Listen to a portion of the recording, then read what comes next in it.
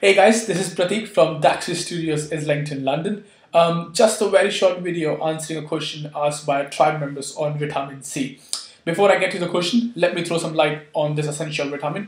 Um, vitamin C is well known as an antioxidant, right, and also helps reducing the severity of cold symptoms. But benefits of this vitamin are actually many. For example, it can help reducing prenatal health problems. It can help reducing eye diseases. It can help reducing skin wrinkling it can actually also play a small role towards um, major disease like cancer and asthma as well.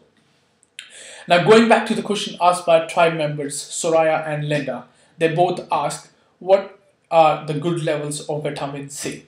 To be honest, there has always been a discussion on the recommended dosage of our food groups, right? How much protein we should have, how much carbohydrate we should have, and how much vitamin and mineral we should have.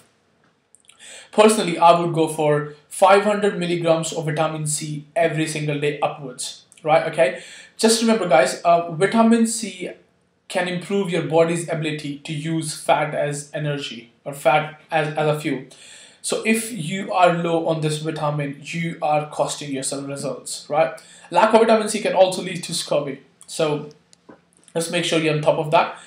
Being said that, make sure you don't cross 2000 milligrams, that's 2 grams of vitamin C every single day because that can also cause a problem, uh, can lead to diarrhea, can lead to stomach pain and all that. Another thing to keep in mind for vitamin C is you can't store this in your body, so you have to take this in your diet every single day. Um, another member in the group, Kim, asked, What are the best sources of vitamin C? Apart from fruits. I guess you don't like the fruits.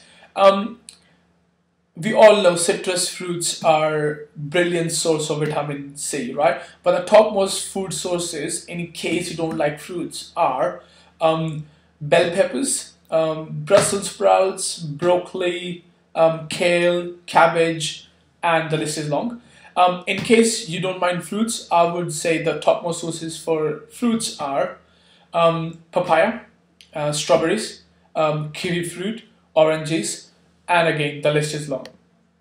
Uh, before I wrap up on here, I would like to leave a quick note for smokers.